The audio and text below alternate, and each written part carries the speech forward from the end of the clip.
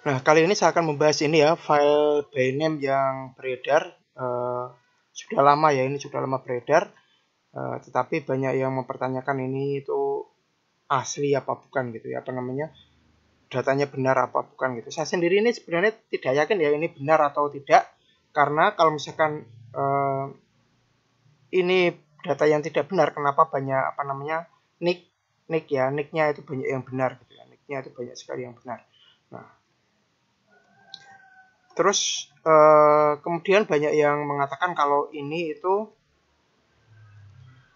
eh, apa namanya ya? Ada yang mengatakan dan menurut saya itu suatu pernyataan yang eh, bertentangan gitu ya. Misalkan gini, ada yang mengatakan ini eh, adalah hanya batas simulasi saja. Kemudian sekaligus di bawahnya dia mengatakan sekaligus di bawahnya ya dia mengatakan kalau ini uh, belum update gitu ya. Kalau menurut saya simulasi dengan belum update itu beda gitu. Kalau simulasi mungkin ini datanya memang benar, tetapi simulasi itu hanya untuk latihan ya. Simulasi itu hanya untuk latihan, jadi kemungkinan formasinya itu salah semua. Kalau simulasi itu kalau simulasi sepemahaman saya simulasi itu harusnya formasinya salah semua karena itu hanya untuk latihan datanya memang benar tapi sim, uh, apa namanya penempatannya itu salah semua, tidak ada yang benar. Tetapi kalau belum update itu berarti namanya benar, datanya benar dan e, penempatannya juga benar. Tetapi masih perlu direvisi. Nah, bedanya seperti itu.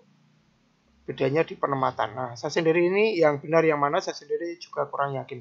Tetapi e, ini yang berdasarkan yang saya amati ya, ini saya cocokkan dengan hasil seleksi tahap 2 di ini ya. Uh, seleksi tahap 2 di Jawa Tengah ya. Nggak tahu nih ini di daerah lain belum saya cek tapi di Jawa Tengah itu banyak sekali data-data yang eh, guru-guru uh, yang yang di negeri ya. ya kalau di swasta itu saya belum menemukan ya tapi yang di negeri itu banyak sekali guru honorer negeri belum lulus passing grade tetapi masuk di sini ya.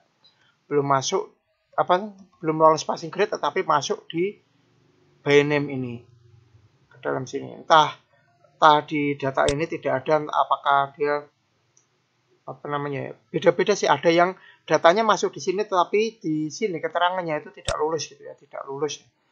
Karena ada keterangannya lulus apa P1 atau TL kayak gini ada yang keterangannya TL seperti ini tetapi di tahap 2 di tahap 2 itu tidak lulus tetapi di BNM itu ada namanya. Padahal kalau misalkan eh, apa namanya kalaupun lulusnya itu hanya di tahap satu biasanya kan di sini ada keterangannya nilainya diambil tahap satu gitu tahap dua tidak diambil gitu.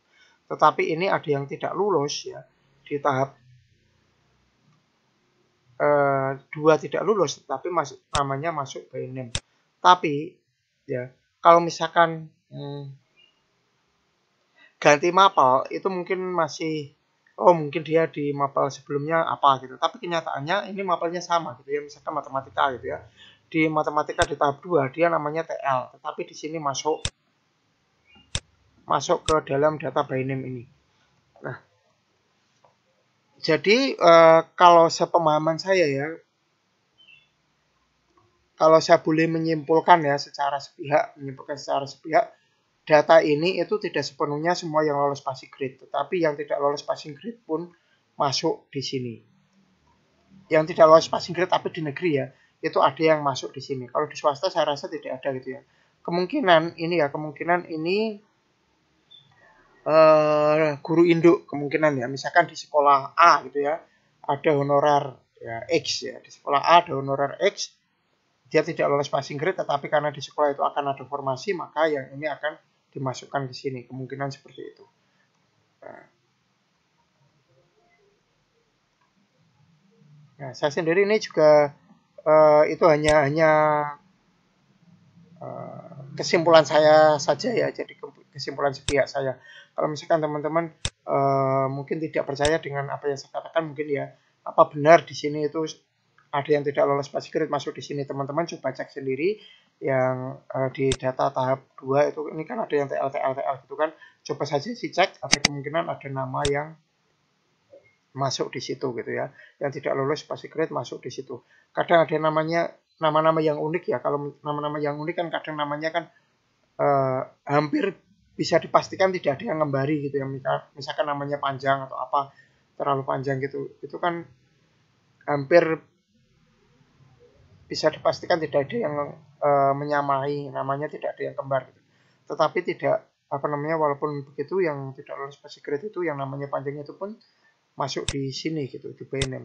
Nah, intinya teman-teman kalau misalkan ragu bisa dicek sendiri ya, dicek sendiri nanti namanya benarkah yang tidak lolos secret benar-benar masuk di sini, benarkah seperti itu? Nah, kalau misalkan teman-teman teliti, saya yakin ya pasti teman-teman akan menemukan nama-nama yang tidak lolos passing grade ya yang terutama yang di sini ya status datanya negeri ya. Kalau di swasta mungkin saya rasa tidak ketemu gitu tapi di, kalau di negeri mungkin akan ketemu gitu.